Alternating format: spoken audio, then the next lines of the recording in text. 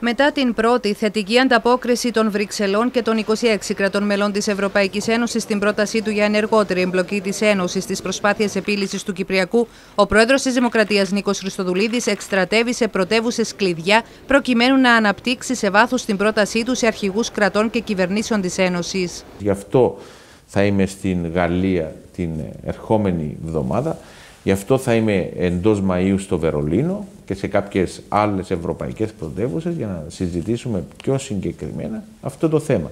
Εκείνο που μπορώ να σας πω και από πλευράς Επιτροπής και από πλευράς Συμβουλίου, αλλά και των κρατών μελών που έχουν μια είτε ιδιαίτερη ευαισθησία στο Κυπριακό ή ιδιαίτερες σχέσεις με την Τουρκία, βλέπουν αυτή τη λογική. Δεν σημαίνει ότι είναι εύκολα τα πράγματα, λαμβάνοντας υπόψη και την τουρκική προσέγγιση. Γι' αυτό είπα, αναμένουν όλοι να δουν και το τι θα γίνει στις εκλογές. Βλέπουν θετικά και την διασύνδεση του Κυπριακού με τα ευρωτουρκικά; Ναι, αυτή είναι η, η προσέγγιση. Κατά τη διάρκεια της συνέντευξης που παραχώρησε ο πρόεδρος της Δημοκρατίας στον Αντένα, η συζήτηση επεκτάχθηκε και στα κίνητρα που δίνανται να τεθούν στο τραπέζι ώστε να επαναρχίσει ο διάλογος. Κίνητρα που, όπως σημείωσε ο πρόεδρος Χριστοδουλίδης, θα αφορούν όλα τα εμπλεκόμενα μέρη και όχι μόνο την Άγκυρα. Θα πρέπει και η Κυπριακή Δημοκρατία, που είναι κράτος μέλος της Ευρωπαϊκής Ένωσης, να εξασφαλίσει κάτι.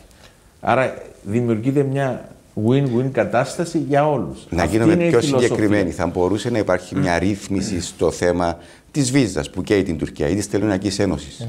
Το θέμα της uh, θεωρήσεων εισόδου για το σύνολο των Τούρκων πολιτών, πρέπει να είμαστε ειλικρινείς, είναι ουτοπία. Δεν πρόκειται η Ευρωπαϊκή Ένωση και δεν είναι η απόφαση απλά της Λευκοσίας. Για τους επιχειρηματίες, παραδείγματος χάρη. Όχι, για παράδειγμα, το θέμα των επιχειρηματιών σε συγκεκριμένους τομείς. Παράλληλα όμως η Τουρκία θα πρέπει να κάνει και κάποιες άλλες κινήσεις. Όλα αυτά όμως για να μπορούν να γίνουν, ε, θα πρέπει να επαναρχίσουν οι συνομιλίες για επίλυση του Κυπριακού. Σε σχέση με τις εκλογές στην Τουρκία, ο πρόεδρος Χριστοδουλίδης σημείωσε ότι παραμένει γρήφο για όλους η επόμενη μέρα και η στάση που θα έχει η κυβέρνηση της Τουρκίας είτε υπό τον Ρετζέπτα Ιπερτογάν είτε υπό τον Κεμάλ Κιλιντσάρογλου σε μείζωνα ζητήματα εξωτερικής πολιτικής. Όλοι αυτό αναμένουν να δουν. Ποια θα είναι η συμπεριφορά. Και όχι μόνο εναντί στο Κυπριακό, δεν είμαστε το κέντρο του κόσμου και όλοι ασχολούνται με εμάς. Και με τη συμπεριφορά της Τουρκίας στην περιοχή, για παράδειγμα, οι σχέσεις της με την Αίγυπτο. Βλέπουμε μια επίθεση φιλίας από πλευράς του κ. Ερτογάν. Είναι με αφορμή τις εκλογές, το εννοεί, θα σεβαστεί το διεθνές δίκαιο, θα σεβαστεί το δίκαιο της θάλασσας, θα σεβαστεί τις συμφωνίες που έχουν τα κράτη της περιοχής. Ο πρόεδρος της Δημοκρατίας στο μεταξύ θα μεταβεί αύριο στην Αθήνα για την αναγόρευσή του σε επίτιμο διδάκτορα του Πανεπιστημίου Πυραιό, ενώ θα συμμετάσχει την Παρασκευή στο Οικονομικό Φόρουμ στους Δελφούς.